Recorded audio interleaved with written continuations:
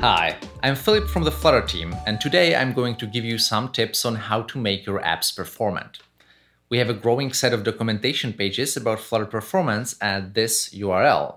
This video is meant to give you only a high-level overview. Flutter apps are performant by default. For example, here's an app that orbits 100 individually painted containers around the screen, recomputing each position every frame, all in Dart and Flutter all smooth at 60 frames per second. That is to say, don't optimize prematurely. Test first, and only if your test reveals an issue, then optimize. Also, Flutter and Dart themselves are getting faster. For example, some very important performance benchmarks saw significant improvements just in the last few months. That is to say, the Flutter team really cares about making it easy for you to build performant apps without you having to do all the work.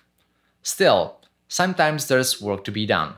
Sometimes you want to squeeze that extra bit of performance out of Flutter, or you see a performance issue in your app and you don't know why.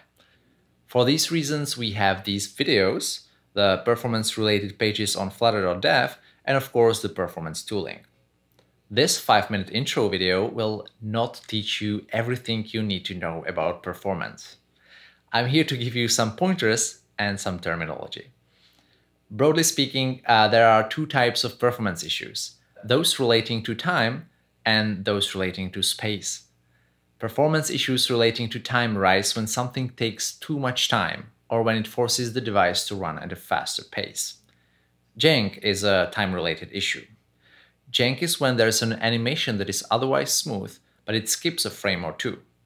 The effect is unpleasant.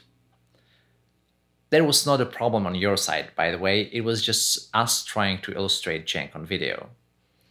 Anyway, jank is when your app spends too much time building a frame.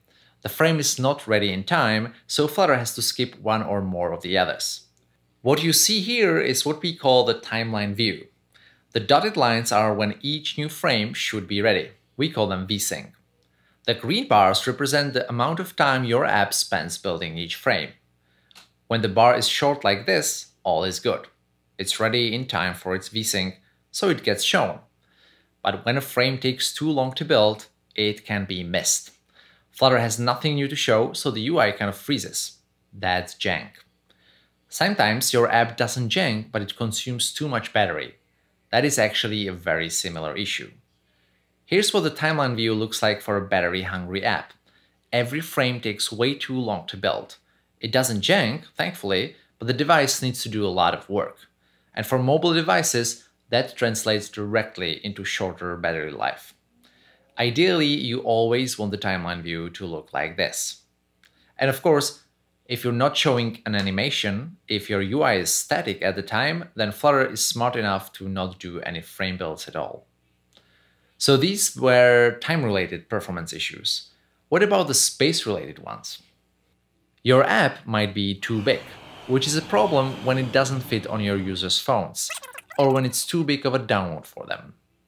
Your app can also take too much memory, or it can leak memory, which means you are unwittingly keeping some memory you don't need anymore forever. Both performance problems, time-related and space-related, can be awful for the user. Flutter gives you tools to deal with both. There's the performance overlay, the widget rebuild tracker, the DevTools timeline, the DevTools memory tab, and more. Check out flutter.dev slash docs slash for more information.